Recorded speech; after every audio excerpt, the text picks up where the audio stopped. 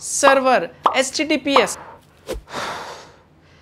क्या आप भी जानते हो इनका मतलब इंटरनेट में एक इंटरनेट यूज़र के लिए ये जानना बहुत ही ज़रूरी है। तो आज इस वीडियो में मैं आपको इंटरनेट ज्ञान देने वाला हूँ। तो जानने के लिए वीडियो को लास्ट तक देखते रहिए। हेलो गाइस मेरा नाम है मनोज सारू और हमेशा की तरह टेक्नोलॉजी ज्ञान चैनल में आपका स्वागत है।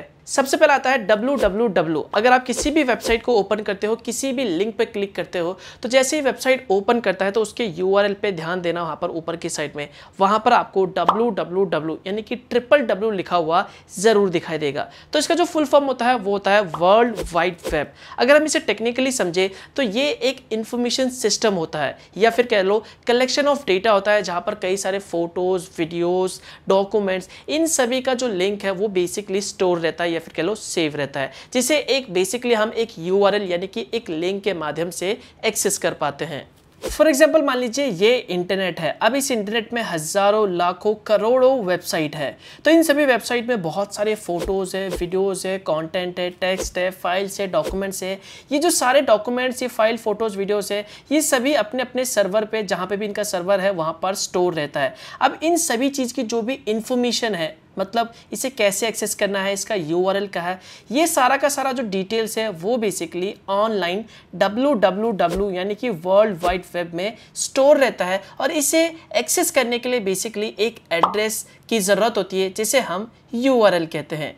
तो यहाँ पे सिंपल सा मतलब है कि आप इंटरनेट में जो भी वेबसाइट ओपन करते हो, किसी भी लिंक पे क्लिक करते हो, कोई भी फ़ाइल डाउनलोड करते हो, कोई भी वीडियो देखते हो आर्टिकल पढ़ते हो, किसी भी वेबसाइट को ओपन करते हो, उसका एक स्पेसिफिक यूआरएल होता है, एक एड्रेस होता है, जिसे हम यूआरएल कहते हैं। और यूआरएल का फुल फॉर्म होता है यूनिफॉर्म रिसोर्स लोकेटर जैसा कि आपको नाम से ही पता चल रहा है यूनिफॉर्म रिसोर्स लोकेटर यानी कि रिसोर्स को लोकेट करना, ढूंढ कर, ढूंढना। अब ये जो सारी इंफॉर्मेशन होती है, वो बेसिकली स्टोर होती है यहाँ पर वर्ल्ड वाइड वेब में, यानी कि डब्ल्यू में। अब यहाँ पर आप किसी भी वेबसाइट को एक्सेस करते हो तो वहाँ पर आपको दो चीज़ें और देखने को मिलेगी। एक है एच और दूसरा है एच अब यहाँ पर ये एच और एच क्या है? इन दोनों में क्या डिफरेंस है? एच का फुल फॉर्म होता है हाइपर टेक्स्ट ट्रांसफ़र प्रोटोकॉल। जैसा कि आपको नाम से ही पता चल रहा है ट्रांसफ़र प्रोटोकॉल। ट्रांसफ़र का सिंपल मतलब होता है इंटरनेट की दुनिया में फ़ाइल को एक जगह से दूसरी जगह भेजना। यहाँ पर प्रोटोकॉल का मतलब होता है सेट ऑफ़ रूल जैसा कि आपको नाम से ही पता चल गया होगा इनकी डेफिनेशन भी पता चल गई है। तो सिंपल फंडा यह है कि इंटरनेट दुन, की दुनिया में जो भी आप टेक्स्ट भेजते हो जो भी आप फ़ाइल भेजते हो एक जगह से दूसरी जगह या फिर आप एक कंप्यूटर की फ़ाइल को दूसरे कंप्यूटर से एक्सेस करते हो तो यहाँ पर जो फ़ाइल है वो ट्रांसफ़र हो रहा है एक जगह से दूसरी जगह तो इसके लिए बेसिकली एक सेट ऑफ़ रूल बनाया जाता है इंटरनेट में। फॉर एग्ज़ाम्पल मान लो यहाँ पर आप मेरी वीडियोस को देख पा रहे हो तो जो मेरी वीडियो है, वो आपके पास कैसे पहुँची? कैसे आप उसे एक्सेस कर सकते हो? उसके लिए इंटरनेट में एक रूल बनाया गया है, एक नियम बनाया गया है। तो ये सारी जो चीज़ें होती है, नियम होती है, वो बेसिकली एच में आती है। और इसी के माध्यम से आप जो इंटरनेट है वो एक्सेस कर पाते हो। या फिर कह लो, जो भी फ़ाइल का ट्रांसफ़र होता है एक जगह से दूसरी जगह पे, या फिर कह लो सर्वर से क्लाइंट के बीच में सर्वर से ब्राउज़र के बीच में, ये सारा का सारा बेसिकली एक रूल को फॉलो करता है, तभी इंटरनेट काम कर पाता है। अब यहाँ पे मान लीजिए आपने इंटरनेट की दुनिया में एक ऑनलाइन फॉर्म भरा और उसमें कुछ डिटेल्स डाली, वहाँ पे आपने फॉर्म भर के उसे सबमिट कर दिया और वो जो सारा डेटा है, वो बेसिकली आपने सर्वर में भेज दिया। तो यहाँ पर आपका जो डेटा है, एक जगह से दूसरी जगह जा रहा है। तो यहाँ पर मान लीजिए कोई हैकर बैठा पड़ा है, कोई थर्ड पार्टी पर्सन बैठा पड़ा है, बीच में अगर आपका डेटा चुरा ले बहुत ही कॉन्फिडेंशियल डेटा है। आपका पैन कार्ड मान लो या फिर आपका आधार कार्ड मान लो या फिर आपकी बैंक डिटेल्स मांग लो, बहुत सारी कॉन्फिडेंशियल डिटेल्स होती हैं। तो वो जो डेटा है, वो एक जगह से दूसरी जगह तो ट्रांसफ़र हो रहा है, लेकिन वो सिक्योर नहीं है अगर वो एच में ट्रांसफ़र होता है। तो यहाँ पर इसी चीज़ को सिक्योर करने के लिए, पूरी तरह से एनक्रिप्टेड करने के लिए यहाँ पर बेसिकली एचटीटीपीएस का इस्तेमाल किया जाता है, जिसका फुल फॉर्म होता है hyper text transfer protocol secure मतलब आप जो भी डेटा ट्रांसफ़र कर रहे हो, वो पूरी तरह से सिक्योर है एनक्रिप्टेड है, वो किसी, वो, उस डेटा को कोई भी थर्ड पार्टी पर्सन या फिर बीच से हैकर चुरा नहीं सकता। आप यहाँ से ट्रांसफ़र कर रहे हो एक जगह से तो वो सीधा सर्वर के पास ही जाएगा। उसे बीच में कोई भी खोलने की कोशिश करेगा, तोड़ने की कोशिश करेगा तो वो पॉसिबल नहीं है। मतलब आपका जो भी डेटा है, एक जगह से दूसरी जगह आप भेज रहे हो, वो पूरी तरह से सिक्योर होगा एनक्रिप्टेड होगा।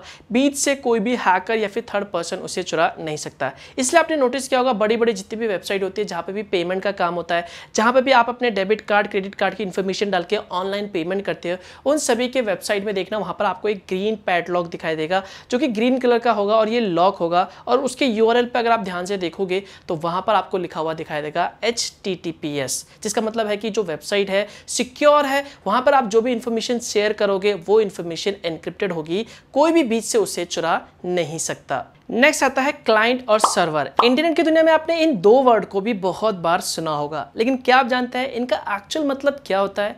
चलिए मैं आपको इनको सिंपल और बहुत ही इजी तरीके से और बहुत ही छोटे एग्ज़ाम्पल के माध्यम से समझाता हूँ.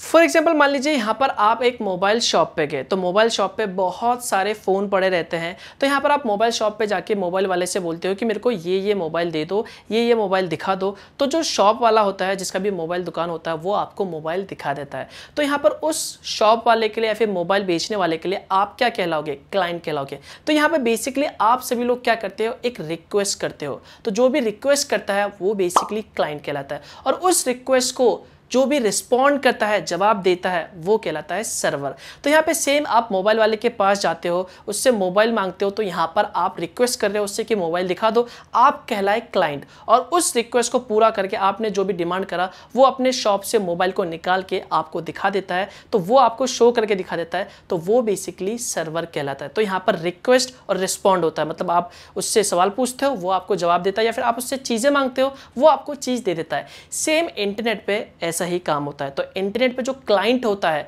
वो बेसिकली ब्राउज़र होता है और ब्राउज़र को कौन एक्सेस करता है? आप करते हो। तो यहाँ पर जो ब्राउज़र होता है, वो क्लाइंट कहलाता है और वो जो फ़ाइल आप एक्सेस करना चाह रहे हो, किसी भी वीडियोज़ को फ़ोटोज़ पे लिंक क्लिक करके एक्सेस करना चाह रहे हो, वो इंटरनेट के किसी सर्वर पे या फिर कह लो कहीं सर्वर पे वो बेसिकली सेव रहता है स्टोर रहता है। तो जैसे आप रिक्वेस्ट करोगे उस लिंक पे क्लिक करोगे तो आपने सर्वर को बोला कि मेरे को ये फ़ाइल दिखाओ तो वो आपको फ़ाइल दिखा देता है। वो फ़ाइल अब कहाँ स्टोर है, कहाँ सेव है वो सारा का सारा सर्वर कहलाता है। जिस तरह से वो मोबाइल जिस भी मोबाइल शॉप में स्टोर है, उसी मोबाइल शॉप से उसने आपको दिखा दिया। सेम यहाँ पर जो सर्वर है, वो बेसिकली मोबाइल शॉप है। और जो रिक्वेस्ट कर रहा है, यानी कि जो मोबाइल खरीदने जा रहा है, वो क्लाइंट कहलाता है। और जबकि उसी क्लाइंट को आप कंपेयर कर सकते हैं वेब ब्राउज़र से आप रिक्वेस्ट कर रहे हो। तो ये होता है क्लाइंट और सर्वर का खेल। आई होप आपको क्लियरली अंडरस्टैंड हो गया होगा कि ये सर्वर और क्लाइंट का क्या चक्कर है। नेक्स्ट आता है आईपी एड्रेस वेल इंटरनेट की दुनिया में आपने आईपी एड्रेस के बारे में भी बहुत बार सुना होगा। क्यों?